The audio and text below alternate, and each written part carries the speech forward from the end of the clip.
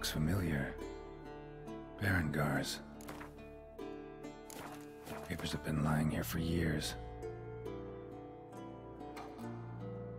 How about that? He was working on a sword. And not just any sword, judging by his notes. Tor'haerne. Ought to talk to Vesemir. Berengar consulted him. Vesemir might remember how far he got. Yes? What is it, Wolf? Found some of Berengar's notes. From what I made out, he was trying to forge a sword. Tor'haerne. You were helping him. Advising, at best. Boy never managed to forge the blade, but would never let me at the anvil. Just pestered me with questions. Wanted to do it all by himself, as always. But then the whole plan went to the devil, literally.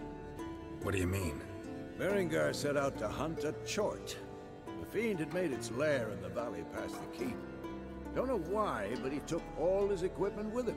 Maybe thought I'd tinker with his sword while he was gone. You know what he was like. At any rate, the chort turned out to be strong. Too strong.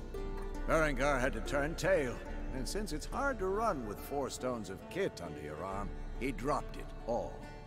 Came back red with blood. And shame. Hardly said a word, and left soon after, never to return. I know the rest of the story. How do I get to this Chort's lair? I knew you'd want to finish this. Easiest way is to take the river downstream, as far as you can go. But be careful. Berengar had his flaws, but he was a damn good fighter. If that Chort's still there, you could be in for a wild ride.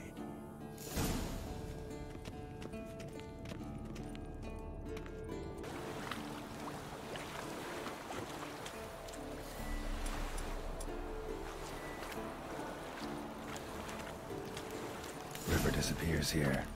I've got to be close.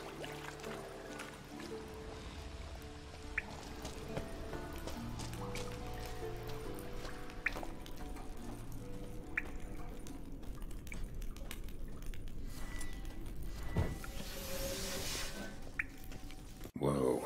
An old, strong bow. No wonder Berengar got in trouble.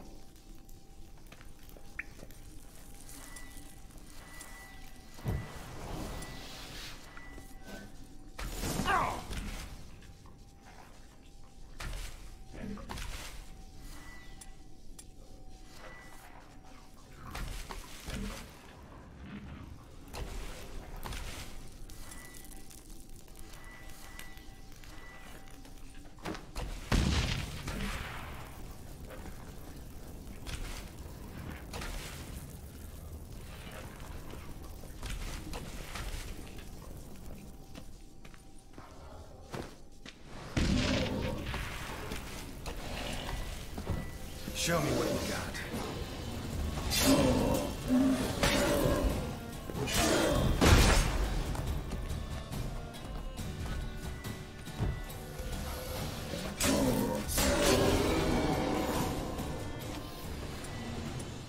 So much for the chort.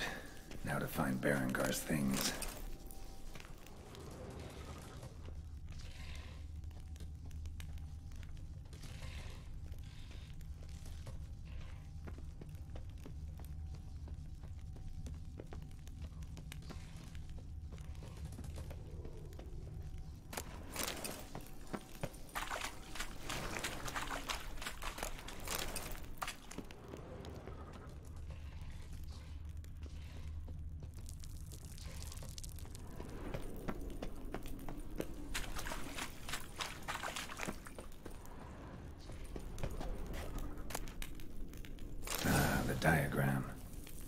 Forging the Tor'haerne won't be easy, but it's sure as hell worth a try.